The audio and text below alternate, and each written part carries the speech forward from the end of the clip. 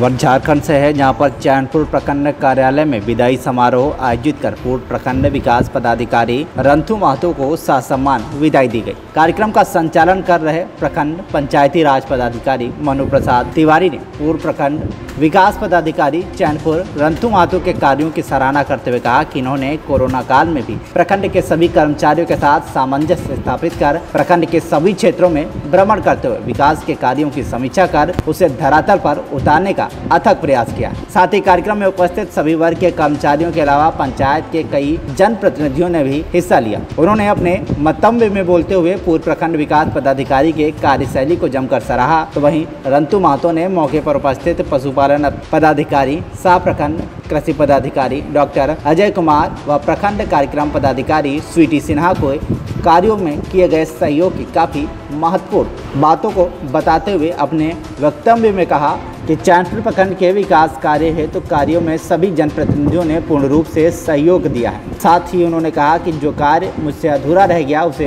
अंचल पदाधिकारी, सह प्रभारी, प्रखंड विकास पदाधिकारी संजय कुमार बाखला को अवगत कराकर उसे भी पूरा करने का भरोसा जताया। साथ ही कार्यक्रम में उपस्थित कर्मचारी सह COVID nineteen, Chainpur magistrate Mahavir Prasad को कोरोना काल में अहम सहयोग के लिए उन्हें अपना हनुमान बताया। तो वहीं प्रखंड कार्यालय के सभी कर्मचारियों व जनप्रतिनिधियों को आश्वस्त किया जाए कि आगे मार्गदर्शन है तो कभी भी आप मुझसे संपर्क साध सकते हैं।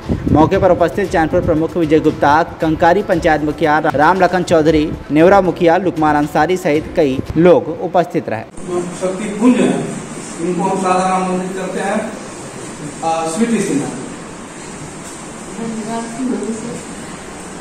बहुत अच्छे तरह से ये सम्मान करते हैं सभी का। और आज हमारे बीच में आज जो विदाई समारोह है, आदरणीय निवर्तमान प्रखंड विकास पदाधिकारी महोदय, CO sir sir BDO sir, प्रमुख महोदय, डॉक्टर साहब सर और समस्त मुखियागण, पंचायत समिति सदस्य पंचायत सेवक, रोज़गार सेवक, जेई, यूएफटी और हमारे जितने प्रखंड कर्मी हैं और हमारे मीडिया कर्मी सबका इसमें स्वागत है।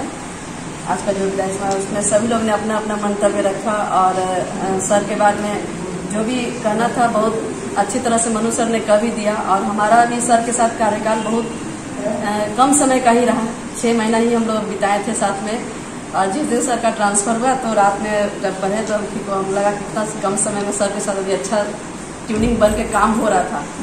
इतना जल्दी मेरा हो गया तो सर का एक दिन फ़ोन आया दो दिन के बाद।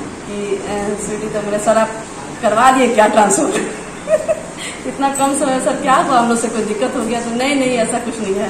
अरे आना जाना लगा रहता है। फिर आपको सर समझाए भी ऐसा कुछ नहीं है। तो हमारा जो अभी नरेगा का जो ट्यूनिंग चल रहा था, बहुत ही अच्छा था। जहाँ भी हम लोग को काम करने में तकलीफ़ होता है या कुछ समस्या होता तो सर उसका निदान तुरंत बताते। हैं अब बहुत फ्रैंक तरीका से हम लोग ये, मैंने इस काम को कर रहे थे अभी। जितना टफ है मनरेगा का काम करना, बहुत सारा पैरामीटर भी है इसमें। लेकिन बहुत वो सबसे सर के साथ इतना आसान तरीका से उसको मैंने हम लोग निभा रहे थे। तो आने वाले सर से भी उम्मीद है कि हम लोग सर को जितना सहयोग करेंगे, जो भी है। और और सर के लिए क्या कहें? सर बहुत अच्छे हैं, धन्यवाद।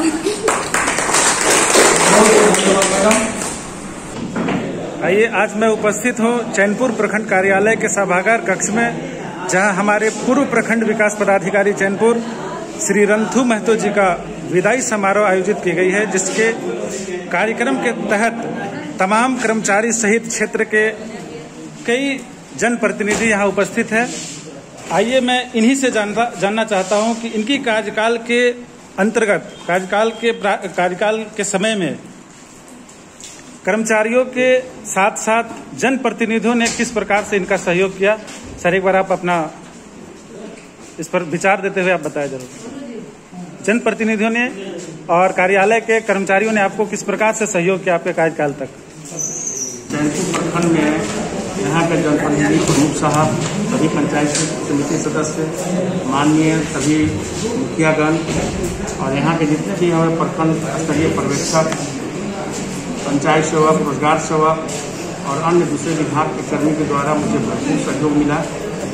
और सरकार के द्वारा जो भी कल्याणकारी योजनाएँ या विकास संबंधी योजनाएँ चलाई जा रही थी, उसमें जो जो इस प्रखंड का जिस पैदान पर था, उसको ऊपर उठाने में इनके द्वारा भरपूर सहयोग किया गया। जिसका परिणाम यह रहा कि आज प्रखंड की स्थिति पूरे ज़िले में अंडर फाइव में है। और हम उम्मीद करते हैं कि आने वाले प्रखंड विकास अधिकारी जो है ये टॉप में लेके जाएँगे। जी सर बहुत बहुत धन्यवाद आपका। और सर एक अंतिम क्वेश्चन मैं आपसे करूँगा। संक्षिप्त शब्दों में आप उसका एक बार जवाब दीजिएगा। क्या कुछ संदेश देना चाहेंगे आप अपने जितने भी सहयोगी कर्मचारी थे और जितने भी जनप्रतिनिधि थे उनको आप क्या संदेश देना चाहेंगे सर जाते जाते? मेरा संदेश यही है कि जब भी ये देखें इस प्रखंड या समाज के सबसे गरीब जनता, उसको देख के अपने आप को सोचे कि उसके लिए क्या कर सकते हैं।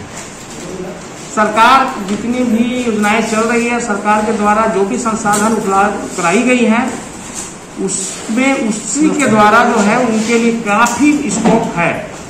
केवल अपने को संजीदगी बरतते हुए, अपने को उनके प्रति जो है जिज्ञासा रखते हुए चाहेंगे तो बहुत कुछ कर सकते हैं। बिल्कुल सर। और सर एक अंतिम क्वेश्चन अभी जो हमारे बीच उपस्थित है जो अंचल पदाधिकारी भी हैं और सह में भी प्रभार इनको प्रखंड विकास पदाधिकारी को भी दिया गया है। तो आप ऐसा कोई काम जो आपसे रह गया हो और आप अपेक्षा करते हैं कि आपके बीच उपस्थित जो पदाधिकारी हैं वो उस काम को पूरा कर दें? ऐसा कोई काम आपके बीच रह गया हो? मेरे द्वारा जो काम किया गया, खासकर तो मेरा लक्ष्य था, खासकर पेंशन जो है, कुछ हम नहीं दे पाए हैं। कुछ लोगों को, दो पंचायत कोविड आ जाने के कारण जो है क्योंकि हर एक पंचायत में कैंप के द्वारा, मेरे द्वारा पेंशन स्वीकृति दी जा रही थी।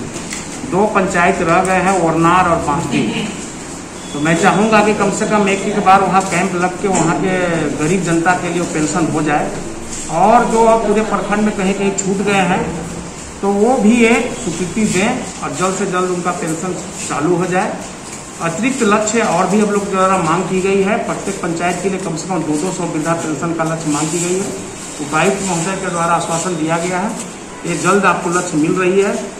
और इसमें है कि जितना जल्दी उनका जो है स्वीकृति करके उनको लाभ दे दिया जाए, ये मेरे लिए बहुत अच्छा होगा। बहुत बहुत धन्यवाद, सर। और पलामू से अजय कुमार की रिपोर्ट, टीवी वन इंडिया। देखते रहिए टीवी वन इंडिया न्यूज़, नमस्कार। और टीवी वन इंडिया न्यूज़ की खबरों को ज़्यादा से ज़्यादा शेयर करें और चैनल को सब्सक्राइब ज़रूर करें।